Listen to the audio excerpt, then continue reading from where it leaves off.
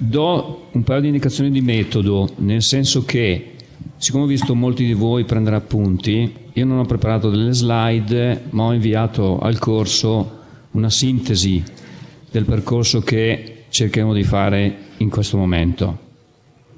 Anche se poi cercherò il più possibile di stare sugli aspetti più pratici e di principio, perché personalmente eh, incontro tutti i giorni, lavorando all'interno della pubblica amministrazione, una certa difficoltà ad assimilare più che le norme, più che le norme, perché le norme si leggono e poi c'è anche l'ausilio della giurisprudenza, quelli che sono i principi, i tratti fondamentali della normativa che poi sono anche il modo di lavorare all'interno della pubblica amministrazione, che sicuramente farò qualche collegamento che non c'entrano gli appalti, ma è assolutamente pertinente, che traggono un po' dall'esperienza personale, perché teniamo presente che negli ultimi 25 anni o giù di lì, a partire dal 1990, il modo di fare pubblica amministrazione è totalmente cambiato e sta continuamente cambiando. Poi diremo perché. Lascerei, se mi consentite, le domande al termine perché i formatori mi insegnano che per fare una dialettica in un momento formativo non bisogna essere, cioè la classe non deve essere superiore a 20, quindi se siete d'accordo lascerei i momenti di approfondimento più che domande, li chiamo di approfondimento, di chiarimento insieme degli aspetti che presentano delle criticità. Primo principio, faccio un passettino indietro rispetto al tema che il tema che mi è stato assegnato introduce un attimino l'aspetto del, dell'esecuzione, la fase dell'esecuzione dei contratti pubblici per poi soffermarsi sul subappalto. Ovviamente il tempo è limitato, quindi sono due ambiti molto complessi non ci potremo soffermare su tutto, ma come ho detto all'inizio cercherò di dare degli spunti più di carattere generale che di dettaglio della norma. Dall'interpretazione che si ricava, e non voglio ripetere, non ho nessuna intenzione di ripetere quello che ha detto prima l'avvocato Barbera, però ho fatto i passaggi, che si ricava dagli articoli 31 e 33, da 31 a 33 del codice, il legislatore non è così chiaro perché lo lascia sottinteso, però nell'ambito dei contratti pubblici siamo di fronte a un procedimento che lo chiama di affidamento del contratto, che però investe anche una fase che non è l'affidamento in senso stretto, cioè l'aggiudicazione, ma investe anche la fase dell'esecuzione. Cosa significa questo? Tant'è vero che l'articolo 31 del codice dice che la pubblica amministrazione nomina un responsabile unico del procedimento e questo procedimento è composto da diverse fasi. Consentitemi di ripeterle. La fase della programmazione, la fase dell'affidamento, la fase dell'esecuzione. Poi ci può essere, come sappiamo, per i contratti pubblici di lavoro, di lavori, la fase della progettazione che si inserisce prima della fase di affidamento per la ricerca del contraente che deve eseguire l'opera, con tutti i diversi livelli che conosciamo, studio di fattibilità, oggi si chiama così nel codice, prima era il progetto preliminare, definitiva, progetto definitivo, progetto esecutivo. Però riflettiamo bene su un aspetto. Fase dell'esecuzione che fa capo al responsabile unico del procedimento, che è il dominus, è il capo per intenderci del procedimento, di tutto il procedimento, che inizia appunto con la programmazione triennale dalle opere pubbliche, sappiamo che poi c'è un aggiornamento annuale, o la preinformazione per quanto riguarda le forniture e i servizi e che termina con che cosa questo procedimento? non con un provvedimento amministrativo, ma termina con l'atto di collaudo per quanto riguarda le opere e i lavori pubblici, con il certificato di conformità per quanto riguarda le forniture e i servizi. Cosa vuol dire questo? Che c'è un'attribuzione responsabile, a un funzionario pubblico, che va al di là dell'aggiudicazione Quindi c'è un concetto di procedimento diverso e più ampio rispetto a quello che abbiamo nella 241 del 90, perché lì il responsabile del procedimento, articoli 4 e seguenti, ferma il suo compito con l'emissione del provvedimento finale, atto autoritativo, unilaterale della pubblica amministrazione. Qui invece gli dice, caro responsabile del procedimento, quindi caro funzionario pubblico, guarda che tu devi attrezzarti anche per la fase negoziale dell'esecuzione del contratto. Non è poco. Perché non è poco? Allora, facciamo un passettino indietro sull'evoluzione legislativa. Coloro i quali si sono sempre occupati di opere e lavori pubblici, questa cosa già l'avevano. Perché? La legge 109 del 94 già andava a disciplinare l'esecuzione del contratto di opere e di lavori. Quindi i tecnici, i responsabili, i direttori dei lavori delle opere, già questa cosa se la portavano dietro. Il decreto legislativo del 2006, il precedente codice, invece cos'è che fa? Siccome i precedenti decreti legislativi di fornitura e servizi nulla dicevano sull'esecuzione, non dicevano chi doveva interloquire con il contraente privato, con l'operatore economico, nell'ambito dell'esecuzione delle forniture dei servizi. Quindi gli uffici, ancora oggi succede, fanno fatica in questo, chi si occupa di forniture di servizi, perché la sua formazione culturale, giuridica, di prassi amministrativa si ferma alla giudicazione. Ovviamente adesso le cose stanno decisamente cambiando. Però cosa significa? Do un flash. Che la pubblica amministrazione e tutti coloro che vi operano dentro, prima di tutti i responsabili del procedimento, deve farsi, o comunque la pubblica amministrazione deve fare, una forte formazione sulla parte privatistica del procedimento perché le norme che regolano l'esecuzione contratti, dei contratti pubblici sono quelle contenute nel codice, che se andiamo bene a vedere, alcune sono, hanno un approccio letterale come se fosse solo per i contratti pubblici di lavori ed opere, però automaticamente tutto si estende ai servizi e alle forniture. Ma non solo, caro responsabile unico del procedimento, devi studiare il codice civile, perché sei chiamato, lo dice la norma, 101 giù di lì, che è il dominus dell'esecuzione, che è lui che si avvale degli altri operatori, che sono il direttore lavori, che sono il coordinatore della sicurezza in sede di esecuzione, che sono poi alla fine il collaudatore o comunque colui che verifica la conformità della prestazione. Quindi non basta che conosci le norme del codice, ma devi conoscere tutto quell'ambito che poi la parte fondamentale della struttura del codice civile sulle obbligazioni e i contratti, perché dove non si dice nel codice è lì che si deve andare. Cosa se ne deriva da tutta la fase dell'esecuzione che viene disciplinata nel codice? Se deriva una cosa molto semplice, cioè chiama coloro, le figure che intervengono, quindi anche il direttore di esecuzione per quanto riguarda le forniture di beni e servizi, li chiama una dialettica continua con l'operatore economico che sta eseguendo il servizio o sta eseguendo l'opera, o comunque nel caso anche di esecuzione continuata e periodica di forniture, anche con l'operatore economico che fornisce. Perché questo? Cosa passa lì? Sto facendo dei ragionamenti che sono banali, però fondamentali. È come se noi siamo a casa nostra, cosa facciamo quando ci ristrutturano l'appartamento, quando ci forniscono un bene, oppure se abbiamo un'impresa che ci fa le pulizie.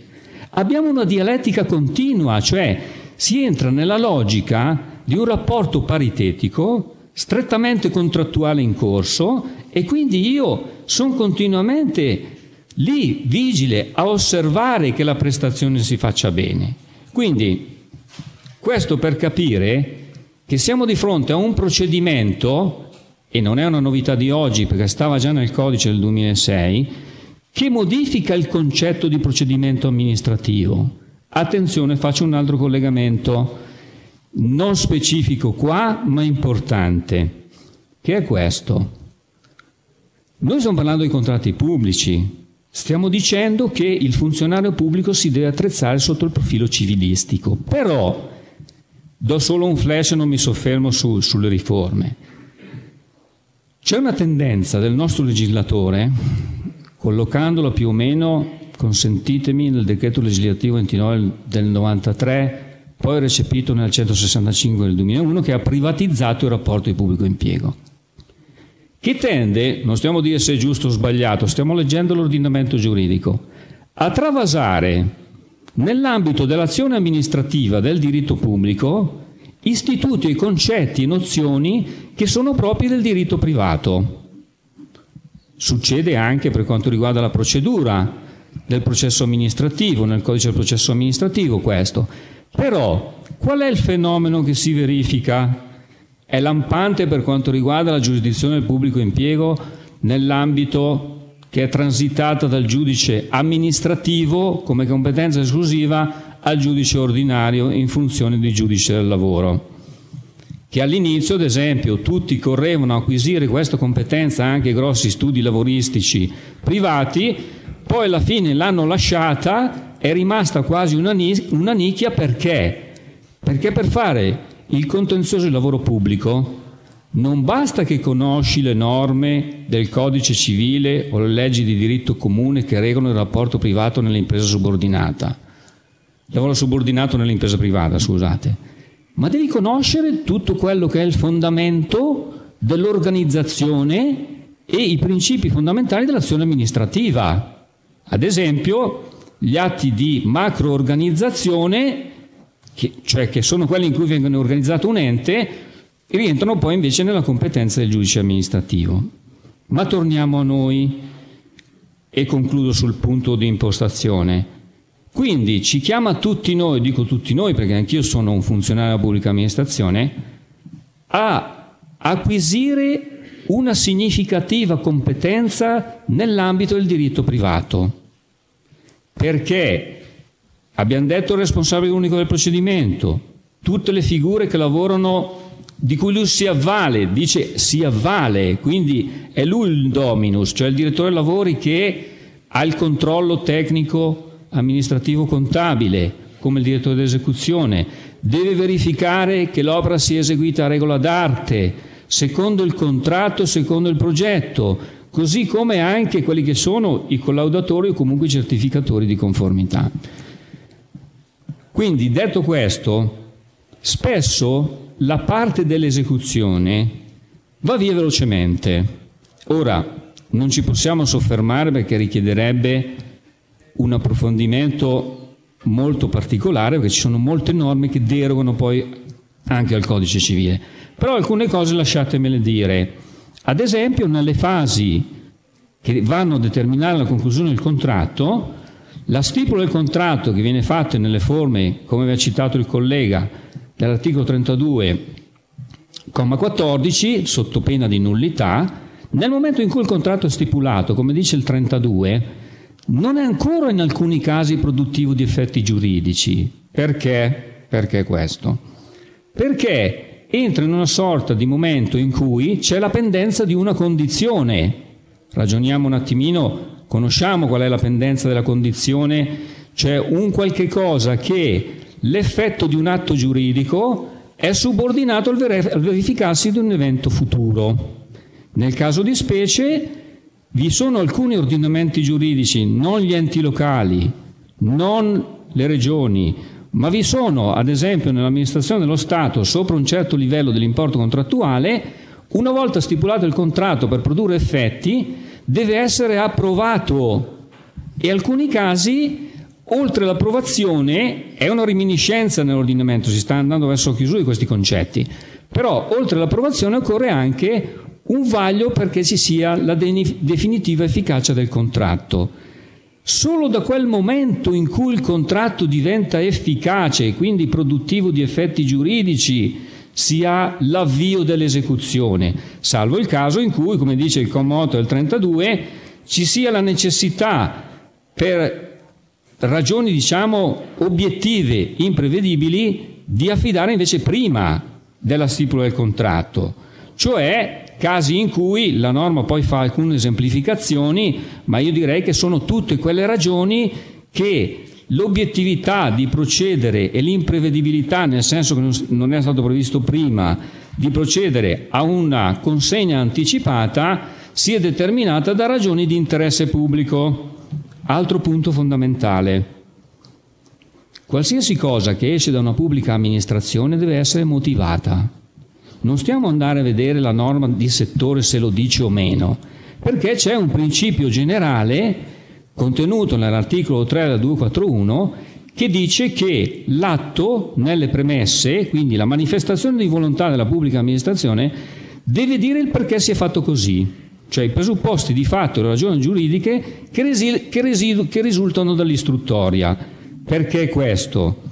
Perché per un principio di legalità e di trasparenza, ma non solo, i più, cioè quelli che non sono direttamente destinatari del provvedimento, devono sapere perché la pubblica amministrazione ha deciso così, perché ha valutato il perseguimento di quell'obiettivo e il raggiungimento di quell'interesse pubblico.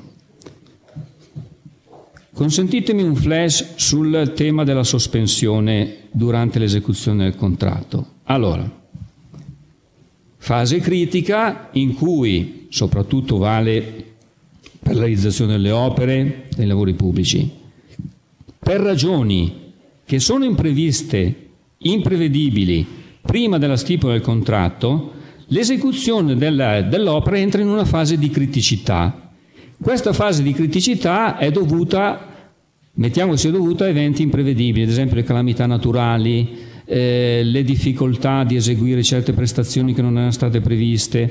Cosa succede? Il direttore dei lavori sospende l'esecuzione del contratto, lo comunica al responsabile del procedimento entro 5 giorni perché è il dominus della situazione. Cosa dice la norma? Questo è un punto che volevo portarvi dall'esperienza. La norma dice che il, l'operatore economico deve contestare la sospensione sul verbale di sospensione e sul verbale di ripresa dei lavori salvo che la sospensione sia illegittima e la contestazione deve essere fatta solo sul verbale di presa del lavoro, perché altrimenti incontra in decadenza, in, in, decade dal diritto all'azione di riserva, cioè riserve nel senso azione di risarcimento del danno. Attenzione! L'esperienza mi insegna anche attraverso arbitrati, presenza in arbitrati, che decade da che cosa? decade dall'azione di risarcimento di danni per responsabilità contrattuale,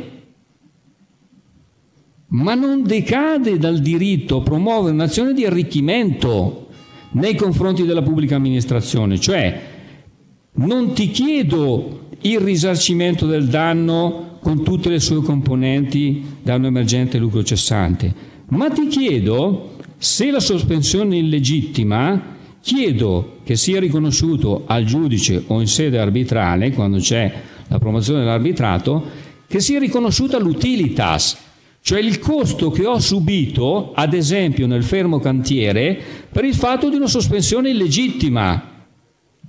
Quindi, perché spesso mi dicono i tecnici, beh, ma non ha messo sul verbale, non, non ha contestato la sospensione, quindi non può fare più niente. No, non è così non può chiedere, ripeto, l'azione di risarcimento e responsabilità contrattuale, ma può promuovere un'azione di arricchimento che nell'ordinamento giuridico, come tutti sappiamo, o comunque dovremmo sapere, nell'ambito civilistico, è un'azione residuale. La puoi fare quando non c'è la possibilità e le condizioni di promuovere l'azione superiore, diciamo, di importanza nella struttura delle possibili azioni dell'ordinamento giuridico, l'azione di responsabilità contrattuale. Quindi ho voluto dirlo questo perché spesso appunto mi si dice non hanno contestato. Quindi l'utilitas poi è qualcosa di diverso perché significa documentare i costi derivanti all'imprenditore da un fermo cantiere o comunque da una sospensione cosiddetta illegittima. Ora passiamo a un argomento che è, si stacca un attimino dal ragionamento complessivo dell'esecuzione perché altrimenti non c'è il tempo ed è un argomento importante, che è il subappalto.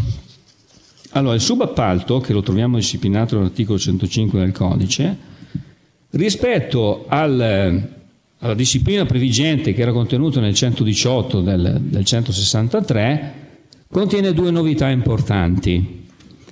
La prima che il subappalto è consentito solo nei limiti del, del 30% dell'importo complessivo del contratto, a differenza di quello che accadeva prima che invece il 30% era rapportato solamente alle categorie specialistiche, mentre le prevalenti potevano tranquillamente non avere nessun limite al subappalto.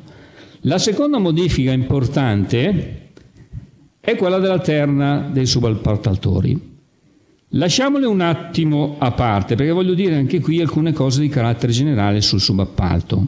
Allora, come tutti noi sappiamo, il subappalto nell'ambito delle opere delle, dei contratti pubblici ha una definizione un attimino diversa rispetto al subappalto to privatistico, perché il subappalto to privatistico se noi ristrutturiamo la nostra abitazione il contratto d'appalto fatto con l'appaltatore lascia libero questi di affidare anche totalmente tutta la prestazione a più subappaltatori.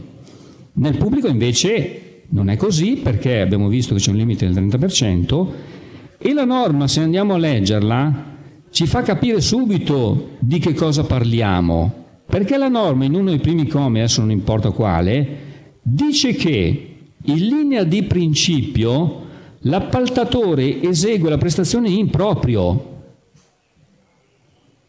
salvo l'applicazione dei commi successivi.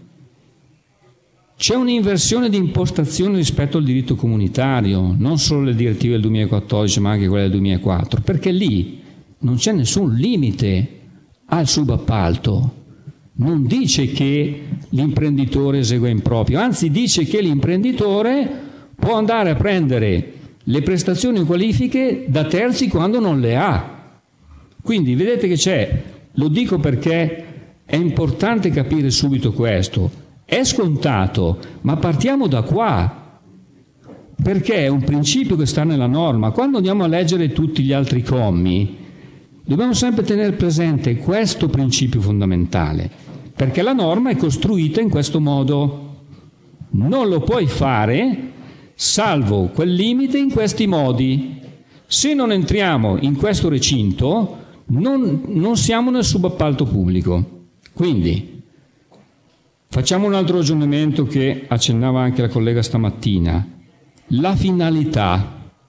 La finalità. Allora, sia il subappalto che l'avvallimento sono due istituti, tra l'altro consentitemi di dire che di avvallimento, prima che arrivasse nel diritto comunitario, si parlava nelle, nelle, sentenze della Corte di Giustizia Europea. Mi, mi ricordo i contenziosi fatti al TAR Milano tra il 97 e il 99 in cui si discuteva quando c'erano soggetti che andavano a prendere requisiti da altri, non c'era nessuna norma neanche nel diritto comunitario sulla valenza delle sentenze della Corte di Giustizia Europea. Quindi l'avvalimento è qualcosa che sta ancora prima del diritto comunitario, ma nella giurisprudenza della Corte, che come sappiamo la giurisprudenza della Corte europea non è la nostra giurisprudenza, sto facendo una, una parentesi, eh, è diritto vivente, ha la stessa valenza di una norma, anzi rispetto al diritto interno scalza il diritto interno che contrasta con i principi contenuti nelle sentenze della Corte di Giustizia europea. Comunque, tornando a noi, avvallimento e subappalto hanno, come sappiamo, l'articolo 89 e il 105 sono strutturati in modo diverso, non sono la stessa cosa. Però la finalità è la stessa. La finalità qual è? La percepiamo facilmente, di ampliare il più possibile, in modo fin dove si può, si può il mercato dei, degli appalti pubblici. Perché questo? Non perché è bello se deciso così nelle direttive piuttosto che nel nostro codice, perché se noi andiamo alle origini, e qui un altro principio, il trattato costitutivo dell'allora comunità economica europea firmato a Roma nel 1956 in cui c'erano sei stati aderenti tra cui l'Italia, il principio fondante, forse sicuramente il più importante, mercato comune europeo, significa che quei sei paesi lì, consentitemi il passaggio semplice, hanno deciso una cosa che è la seguente, giusto o sbagliato che sia, sposare il principio del libero mercato, cioè e realizzarlo come? Attraverso un principio economico che un po' tutti conosciamo. Che la polverizzazione di imprese sul mercato che offrono un determinato bene o servizio, cioè più imprese ci sono che fanno autostrade, che forniscono cancelleria, che puliscono, che fanno le pulizie negli ambienti pubblici, maggiore è la qualità del bene offerto e minore il prezzo. È un principio banalissimo di economia. Quindi quel fondamento lì è per quello che poi a un certo punto il legislatore comunitario ha deciso di intervenire nell'ambito degli appalti pubblici, perché la pubblica amministrazione, che non è poco nell'ambito comunitario, deve andare a prendere sul mercato le cose che gli servono, perché il principio è quello di fare la gara più ampia possibile, aperta, ristretta, eccezionalmente solo si può andare con la negoziata. Quindi vediamo che questi due istituti si collocano lì, perché anche se le dichiarazioni che si fanno in sede di offerta sono diverse, perché con l'avvallimento si dichiara che ci si avvale di un terzo, previa stipula di un contratto, che è l'impresa ausiliaria, per quanto riguarda quelli che sono i requisiti che ci mancano per partecipare alla gara. Quindi già in quel momento lì, con la dichiarazione, se ci sono tutti i crismi, opera l'avvallimento. Nel subappalto invece si dichiara che se avrò l'aggiudicazione utilizzerò un altro soggetto, ma qui c'è un contratto nel subappalto che sta a valle, non a monte del contratto di appalto, cioè che è subordinato al contratto di appalto il contratto di subappalto e che passa attraverso un'intermediazione con la pubblica amministrazione che interviene nella fase già di esecuzione, in corso di esecuzione della prestazione, perché devo chiedere l'autorizzazione al subappalto, che poi sinteticamente andremo a dire. La norma poi esclude che ci possono essere dei subappalti a catena, cioè ce ne può essere solo uno, non è che il subappaltatore poi a sua volta subappalta e via discorrendo. L'articolo 2, l'articolo, il comma 2 della, dell'articolo 105 poi definisce subappalti per farli rientrare nel subappalto pubblico dei, degli strumenti negoziali che in sostanza sono dei subcontratti o comunque quelli che li chiama la dottrina e la giurisprudenza degli, dei contratti assimilati al subappalto, cioè si preoccupa di far rientrare nel subappalto, nella disciplina del subappalto, quando in sostanza eh, l'impiego di manodopera o comunque di funzioni lavorative supera il 2% dell'importo dell'appalto o comunque superiore a 100.000 euro, quando però il costo della manodopera o comunque delle prestazioni lavorative impiegate supera il 50%. Quindi vuol chiarire che questi aspetti rientrano lì perché noi, il nostro legislatore, è continuamente preoccupato e qui stanno le ragioni del perché la nostra disciplina del subappalto è più restrittiva rispetto a che deriva dal diritto comunitario o comunque dall'applicazione delle direttive in altri paesi, della preoccupazione delle infiltrazioni delle associazioni mafiose, comunque delinquenziali, che in sostanza entrando nel mercato non assicurano un mercato libero, non assicurano quel principio che sta alla base della libera concorrenza, eccetera, eccetera. Quindi sono un po' queste le ragioni per cui c'è questa norma con tutte le restrizioni.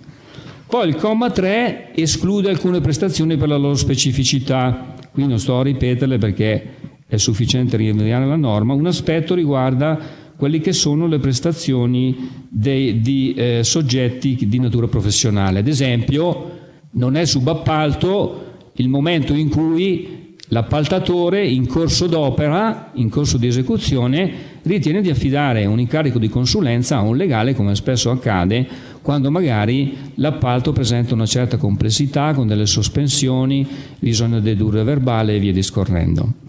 Quindi in questi casi siamo fuori, perché questi casi sono, e c'è una sostanza utilizzo di termine diverso, che sostanzialmente non distingue, ma viene utilizzato un altro termine per tenere fuori questo tipo di contratti dalla normativa subappalto, che sono appunto i subcontratti che non obbligano a chiedere un'autorizzazione, ma bisogna informare sugli elementi essenziali di questi subcontratti la stazione appaltante, perché la stazione appaltante deve sapere, ad esempio, se arriva in cantiere o comunque se l'imprenditore si presenta con determinati soggetti, i soggetti che vanno e vengono da un cantiere o comunque soprattutto dalla prestazione di, di un servizio e via discorrendo.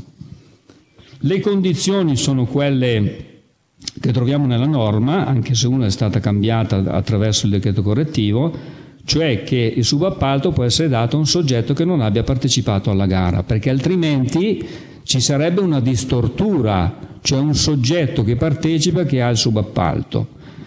Altro, altro, elemento, altra condizione è che il subappaltatore deve possedere la qualificazione, quindi nel caso di categorie deve avere la qualificazione SOA, che deve essere dichiarato espressamente nell'offerta l'ambito del subappalto, cioè quali prestazioni darò in subappalto, comunque la porzione di singole prestazioni che darò in subappalto, perché la pubblica amministrazione già deve sapere prima come stanno le cose in sede di offerta e in ultimo deve presentare, deve provare che il subappaltatore non rientra nelle cause di esclusione di quell'articolo 80.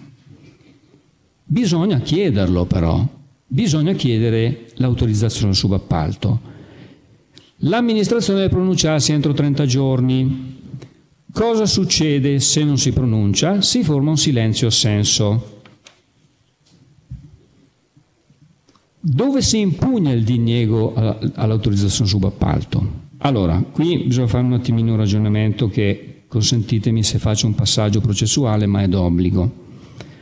La prevalente giurisprudenza, quella che si è trovata in cui chiarisce espressamente questo punto, cioè la giurisdizione impugnare l'autorizzazione subappalto, che intorno, la trovate comunque nelle note, è di sostanza ruota intorno tutto agli anni 2010-2011, Conclude nel senso che l'autorizzazione negata del subappalto è un provvedimento amministrativo che si impugna davanti al giudice amministrativo. Perché dice questa giurisprudenza? È l'espressione di un potere pubblicistico, anche se siamo in una fase di negoziazione con l'appaltatore, nel senso dell'esecuzione del contratto, quindi in una dialettica paritetica, ci sono tutti gli elementi per rientrare nell'ambito della fase pubblicistica.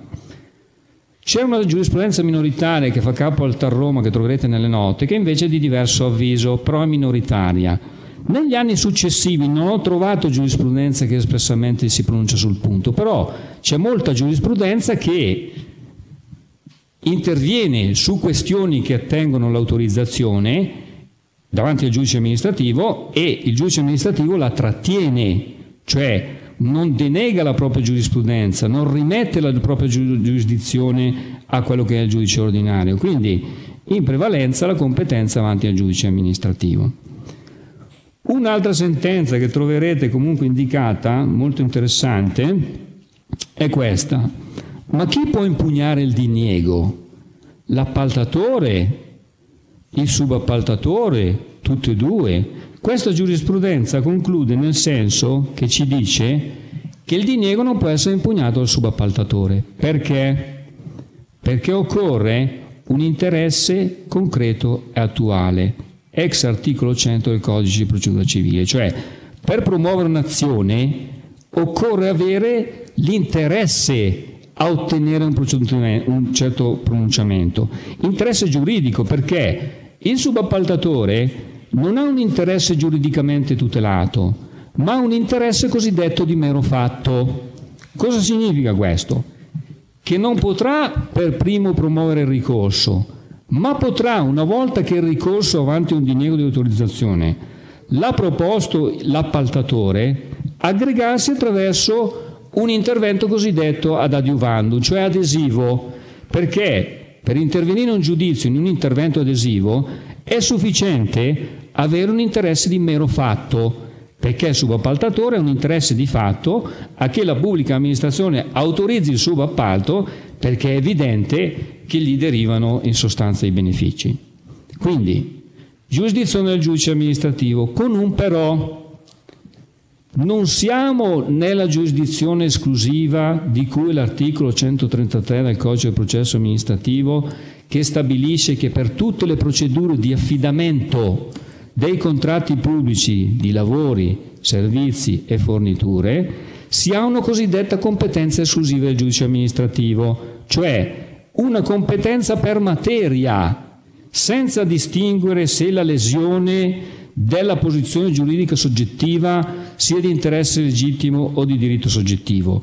Ma in questo caso siamo di fronte a un provvedimento, il diniego di autorizzazione, che è capace di ledere solo interessi legittimi, quindi una giurisdizione generale di legittimità, non esclusiva, che è quella in sostanza che trova fondamento nel 103 e nel 113 della Costituzione che parla di interessi legittimi.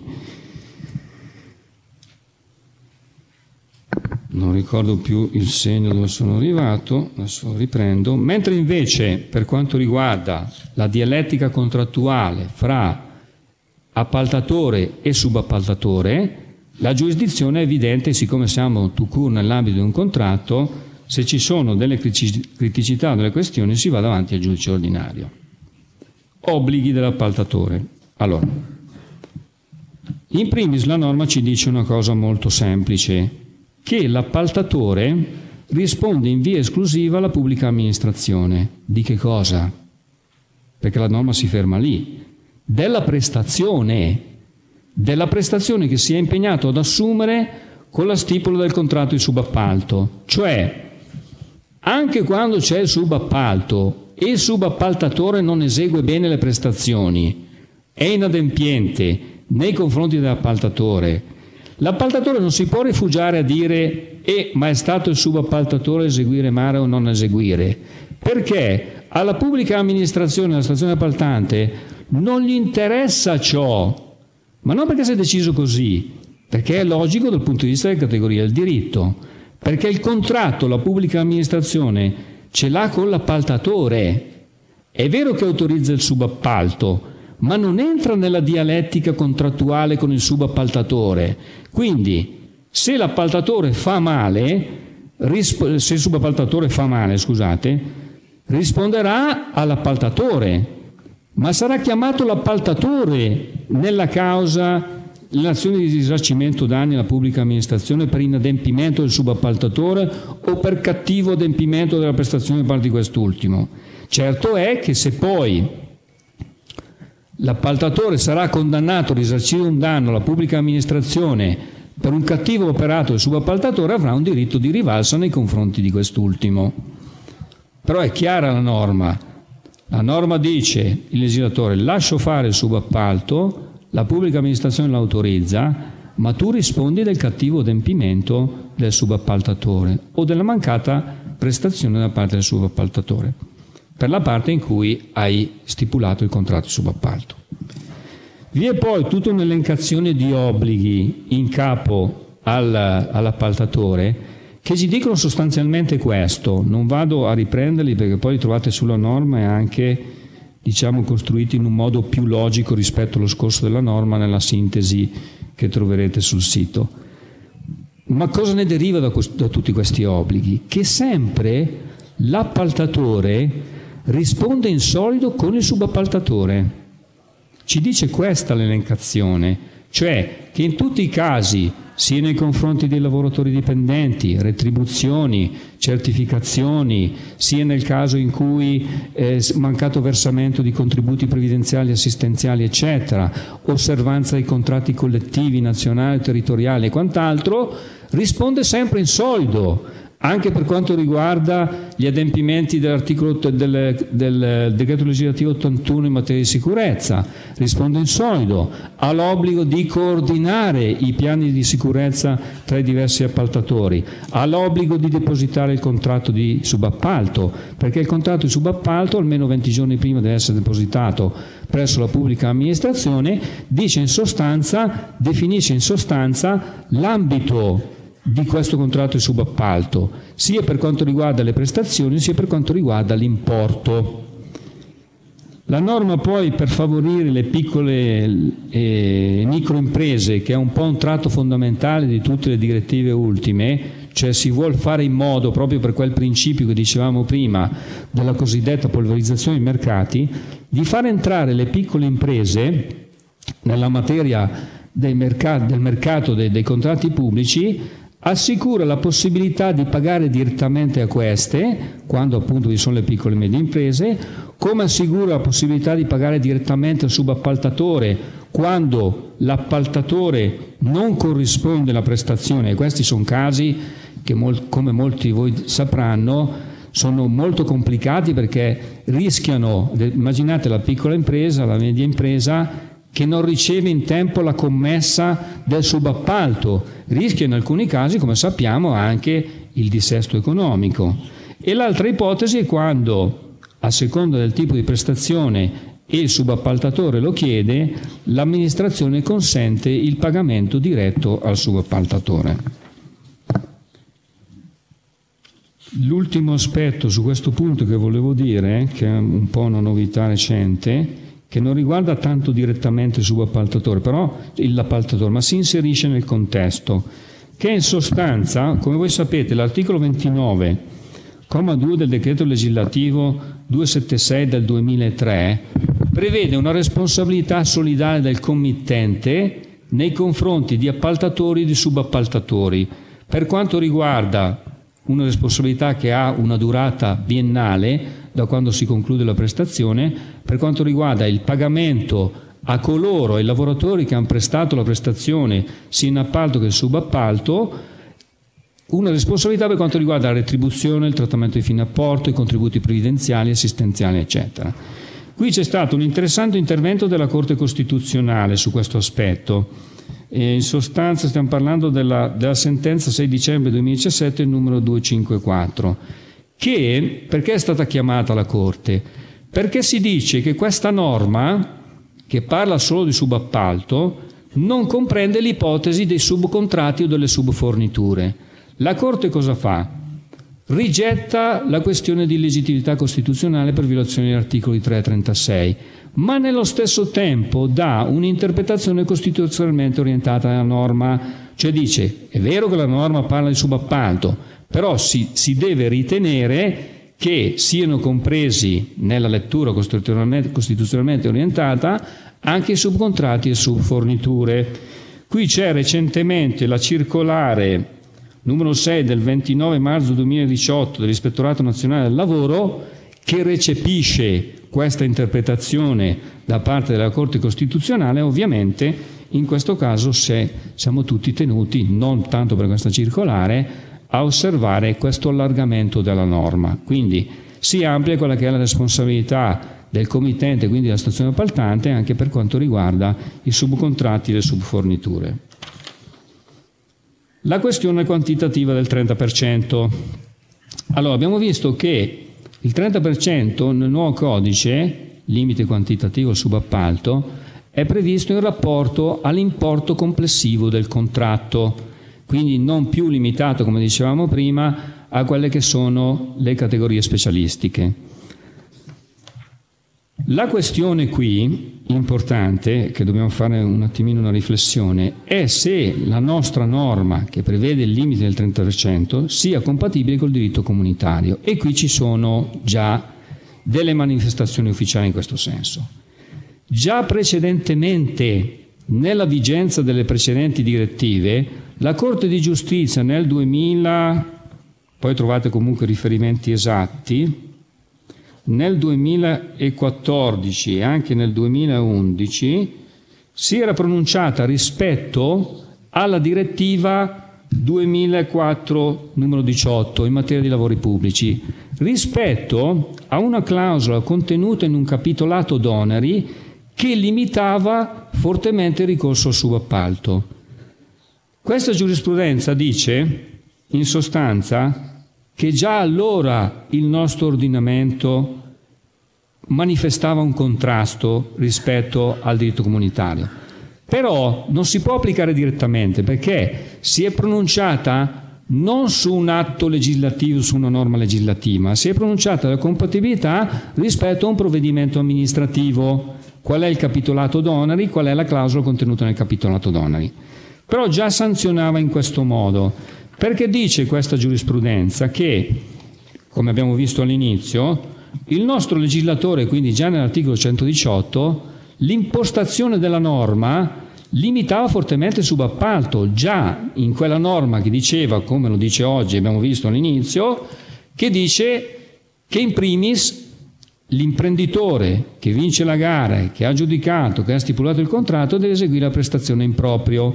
Quindi già per questo dice c'è una limitazione al concetto di subappalto che non corrisponde a quello che leggiamo nelle direttive, perché la direttiva 18, in particolare l'articolo 48, comma, non me lo ricordo, lo troverete scritto, dice in sostanza che la finalità è quella di assicurare al, a colui che partecipa alle gare di avvalersi anche di soggetti terzi quando non ha i requisiti. Facendo così, dice, si limita. Nella vigenza invece del nuovo codice c'è stata un'attività molto serrata da parte dell'Associazione Nazionale Costruzioni Edili.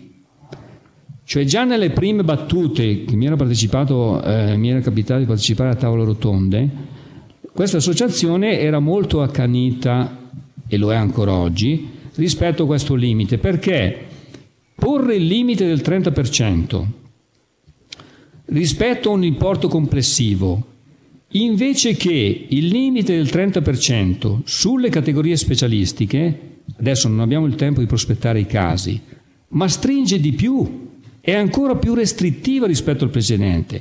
Perché immaginate le opere in cui ho, abbiamo delle categorie specialistiche che limitano il subappalto, possiamo avere tante categorie non specialistiche, quelle scorporabili, che invece ci, ci consentivano prima di fare il subappalto senza alcun limite. Quindi cosa fa l'Associazione Nazionale Costruttori Edili? Invia una nota ufficiale alla Commissione europea, la quale risponde con la propria direzione, con la propria direzione generale del mercato interno, che in sostanza dice hai ragione, la normativa contenuta nel decreto legislativo 50 e nel correttivo, quindi la risposta è arrivata dopo, non è conforme, presenta una incompatibilità rispetto al diritto comunitario. Però ovviamente la Commissione sta facendo una interlocuzione in sede amministrativa, non è la Corte di Giustizia. La Corte di Giustizia invece ci pensa il TAR Lombardia con una sentenza recente del 5 gennaio di quest'anno, numero 28, che chiamata a pronunciarsi su un contenzioso che riguardava la realizzazione, lo dico perché è interessante anche dal punto di vista territoriale, la realizzazione, lo cerco, eh, di, un, di, un, lotto dell'autostrada A8 della barriera di Milano, di, di Milano Nord all'interlocuzione di Lainate, quindi un segmento di circa due chilometri, fa una, una gara, una procedura ristretta. Questa società partecipa alla ristretta, la gara prevede ovviamente una categoria prevalente molto significativa, circa di 45 milioni, la oggi 3, che è quella in sostanza della realizzazione di reti autostradali, e tutta una serie di categorie scorporabili. Partecipa alla ristretta, ottiene la prequalificazione Viene quindi chiamata con lettera di invito a partecipare alla gara. Partecipa alla gara, ah, tra l'altro nella ristretta dice ho praticamente la prevalente ma non ho tutte le altre categorie scorporabili. E quindi nella lettera di invito alla stazione appaltante dice prendo atto che è la prevalente, se vuoi partecipare Se vuoi essere ammesso, devi andare a prendere le scorporabili attraverso gli strumenti quali il subappalto. La società partecipa, presenta il eh, manifesto in sostanza in sede di offerta la possibilità di avvalersi del subappalto in corso di esecuzione e la stazione appaltante la esclude. La esclude perché dice che ha superato attraverso la somma delle prevalenti il 30% previsto nella norma. Ricorso al TAR, in cui si deducono tutta una serie di cose, di violazioni del codice, ma anche della 241, perché aveva chiesto l'autotutela, l'amministrazione non l'ha data, quindi anche il 21 onius e quant'altro, ma la faccio breve, in cui chiede oltre a queste violazioni, quindi violazioni di legge o errata applicazione di norme di legge, chiede in via subordinata, attenzione, la disapplicazione di questa norma del 105 che prevede il 30% per la prevalenza del diritto comunitario. Noi sappiamo che, allora faccio una parentesi, consentitemi una parentesi, viviamo in un contesto ordinamentale giuridico in cui il nostro ordinamento non è sovrano, perché c'è una certa sovranità, la nostra sovranità dal punto di vista giuridico e legislativo è compressa dall'altro, dal diritto comunitario, attraverso le direttive che devono essere recepite, attraverso i regolamenti che hanno immediata efficacia applicativa all'interno del diritto interno, perché il 117,1 della Costituzione in forma del titolo quinto, tra le altre cose, ci dice che il legislatore nazionale o regionale nel legiferare deve osservare i principi contenuti nell'ordinamento comunitario.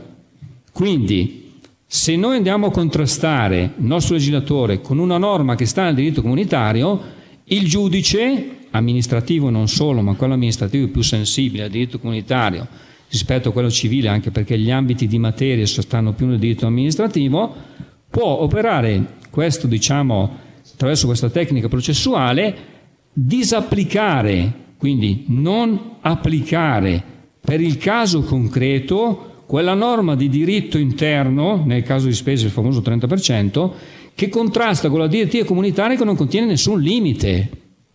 Non contiene nessun limite nel 30%, sia le direttive del 2004 sia le direttive del 2014. Questo in via subordinata. E poi gli dice, in questa subordinata, se non te la senti di fare ciò, rinvia la questione di compatibilità alla Corte di Giustizia europea.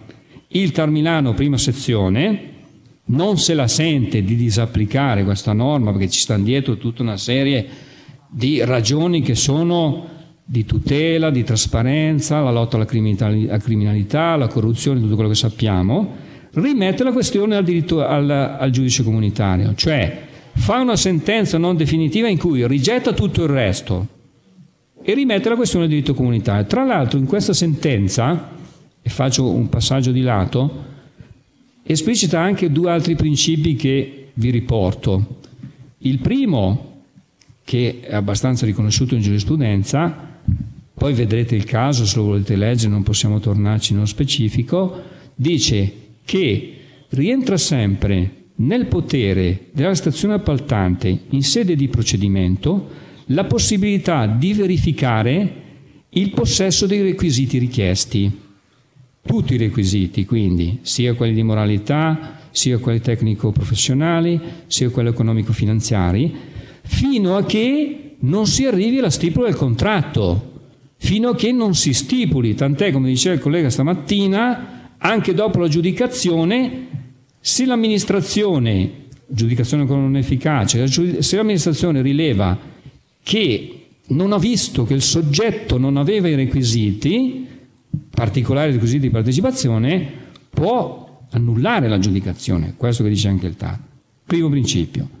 Secondo principio importante, dice anche questo, che mantenendo fermo il limite del 30%, lasciamo perdere la remissione alla Corte di Giustizia e l'incompatibilità col diritto comunitario, come si calcola questo 30%? Cioè si calcola sull'importo a base d'asta o sull'importo della giudicazione? Perché comprendiamo che cambia, perché significa che se la base d'asta è 100, se il soggetto vuole utilizzare tutto il suo 30%, deve proporre in sede di offerta subappalti per 30. Se invece lui nella sua offerta, poniamo per fare i conti precisi, dice faccio un'offerta di 200, può arrivare un subappalto fino a 60 di importo.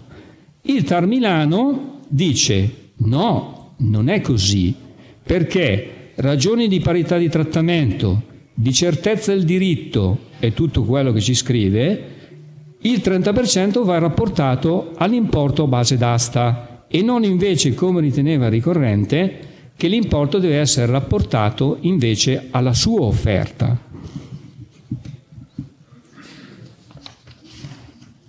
Altro aspetto e poi chiudo, siamo quasi alla fine, la terna dei subappaltatori.